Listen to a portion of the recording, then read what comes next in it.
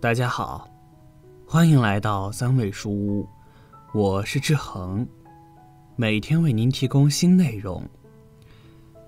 国人吃晚餐四大坏习惯：把晚餐看得太重，吃得太晚，吃太多太油，经常在外就餐。虽然说用五毒俱全形容晚餐有点太激进了，不过在一日三餐中，国人的晚餐。的确是五花八门的，有人大鱼大肉，有人以粥果腹，有人干脆不吃，时间跨度也从傍晚五六点一直到凌晨一两点，花样多造成了毛病多，五毒俱全不至于，但肿瘤和消化专家表示，以下五种晚餐长期食用，对身体的伤害一点也不亚于吃毒。五种最伤人的晚餐：一、老吃剩菜，当心亚硝酸盐。亚硝酸盐为一级致癌物。中国抗癌协会肿瘤营养支持与治疗委员会秘书长孙凌宇教授表示，曾有国内学者实验，将中午剩菜放入冰箱，六小时后拿出加热，发现亚硝酸盐含量都有所增加。炒青菜增加百分之十六，红烧肉增加百分之七十，超过了国家食品中污染物限量标准。而十八小时后，所有菜品亚硝酸盐含量均超过国家标准。所以，做饭最好一次吃完。如果剩菜凉透后，应立即放入冰箱，存放时间不宜过长，最好能在五个小时内吃掉。鱼虾蟹贝类等高蛋白质的，最好一顿搞定，否则剩了再吃对胰腺不好。肉类一定要将其热透，最好加热十分钟以上，或微波炉加热一分钟以上。不要吃热水或者菜汤泡的剩饭，以免加热不彻底。二，喝酒过量伤神经，损肝胃。高兴也好，痛苦也罢，晚上邀上三五好友豪饮是很多人的选择。哈医大四院消化科副教授刘勇表示，酒精会使人体的神经系统从兴奋到高度抑制，严重时还会破坏神经系统的正常功能。啤酒虽然浓度较白酒低，进入人胃后。可以使胃壁减少分泌前列腺素 E，造成胃黏膜充血和水肿，出现食欲减退、上腹胀满。因此，晚饭最好不要饮酒，尤其是睡前四到六小时内。如果酒局无法拒绝，喝酒前最好来杯温牛奶保护胃黏膜。需要注意的是，白酒和啤酒千万别选冰镇的，喝醉了。可以喝点绿茶解酒，适量的红酒要比白酒、啤酒好得多。三，不吃晚餐，胃喊饿，神经受累。在减肥圈子里，过午不食甚为流行。这样的饮食习惯减的不是肥，是你的健康。中华医学会消化病学会理事刘铁夫教授介绍。胃内食物的排空时间大概在四到六小时之间。排空之后，胃会继续分泌胃酸。如果没有食物中和，胃酸会长期侵蚀胃黏膜。多数减肥女性晚餐不吃主义之后，并没有增加动物性食品和豆制品，蛋白质摄入量严重下降，同时还导致多种维生素和矿物质缺乏。此外，加班人群。由于消耗能量大，不吃晚饭会使神经一直保持兴奋，得不到正常休息，影响第二天工作和学习效率。四，吃的太辣伤肠胃，扰睡眠。辣椒所含的辣椒碱等刺激性特质，会通过刺激人体舌尖，进而刺激大脑中枢神经和身体各部分的神经末梢。导致心跳加快、体温上升和较长时间的兴奋感，最终引起入睡晚和睡眠质量不高情况的发生。因此，麻辣食物是晚餐雷区，对患有口腔炎、咽喉炎、支气管炎症、消化性溃疡、胃肠炎、胆囊炎、慢性胰腺炎以及高血压等疾病的人更是禁区。五，加工肉太多，增加癌症风险。烤肉是很多肉食动物们晚餐桌上的上绝。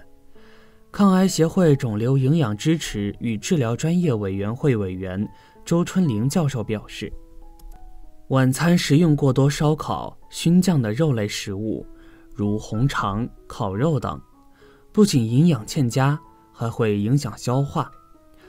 在烧烤食物的过程中，会发生美拉德反应，气味虽香，但影响蛋白质的消化与吸收。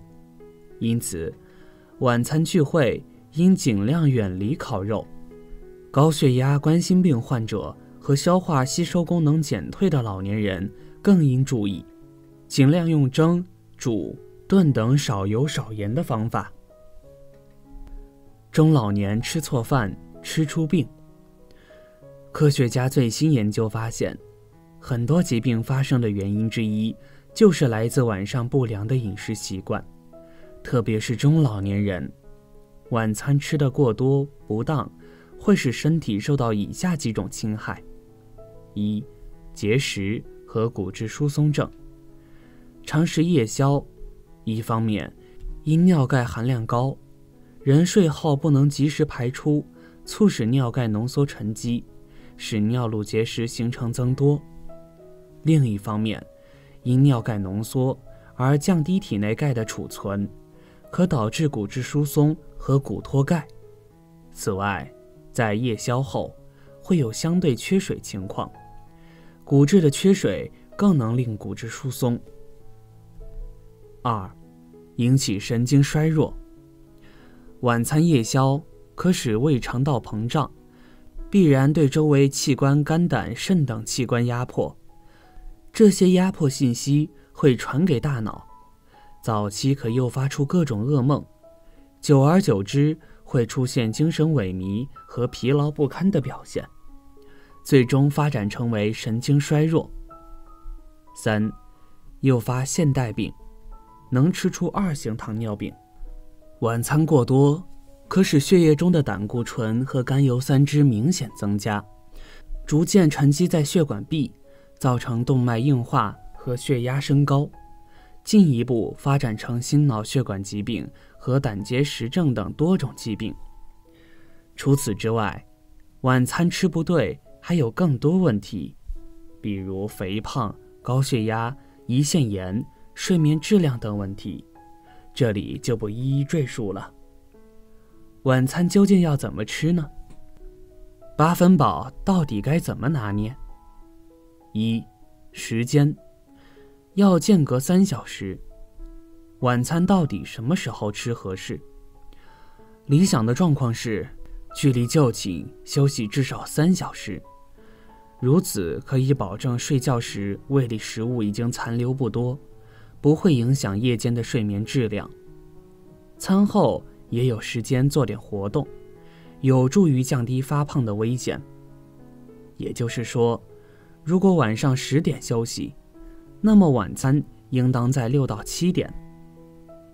二，食物最好选富含色氨酸的食物，比如小米、海藻等。海带、紫菜，色氨酸可制造褪黑素，可以调节睡眠。还要多吃牛奶、蛋类、动物肝脏等富含维生素 B，以及小麦、白菜等富含维生素 B 的食物。维生素 B 有助于消除焦虑。还有利于安眠。三，饮料，喝点蜂蜜或牛奶。晚上宜饮蜜糖水，蜂蜜中的葡萄糖、维生素、镁、磷、钙等可以调节神经系统功能，缓解神经紧张，有助于夜间保持血糖平衡，促进睡眠。牛奶能清除紧张情绪，其中含有的促进睡眠的 L 色氨酸具有一定的镇静催眠作用。临睡前一小时喝一杯加蜂蜜的牛奶，更有益于睡眠。四，时机，三十分钟撂筷子就是八分饱。一日三餐应做到能量上的科学分配，早餐占百分之二十五到百分之三十，午餐占百分之三十到百分之四十，晚餐占百分之三十。从数字上看，早餐相对午餐和晚餐来说，的确可以吃的少点。如何控制晚餐的比例呢？很多人说八分饱、七分饱，就是在已经不饿但是还能吃的时候就不要吃了，在吃的欲望得到稍减以后就不要吃了。可是有人表示，我什么时候都可以吃啊。后来我们终于找到了一个可以操作的方法，那就是早饭过程中，发现自己还能在饭桌边上吃上半小时的时候，就提前把筷子放下不吃了就行了。五，晚餐多吃素，量要少。晚餐最好以素食以及富含碳水化合物的食物为主，而蛋白质、脂肪吃得越少越好。如果进食大量高脂肪、高热量的食物，容易使血脂升高，血液循环更缓慢，不仅容易导致消化不良、肥胖，还会增加心脑血管意外的风险。常听说一句话：“早餐是给自己吃的，晚餐是给医生吃的。”可见晚餐对我们的健康影响如此之大。对此，我们一定要重视起来。好了，这篇文章到这里就结束了。建议大家一定要发给身边所有的中老年朋友们看看，也不要忘了右下角点击订阅，和志恒相约，每天不见不散。我们一起成长，一起幸福。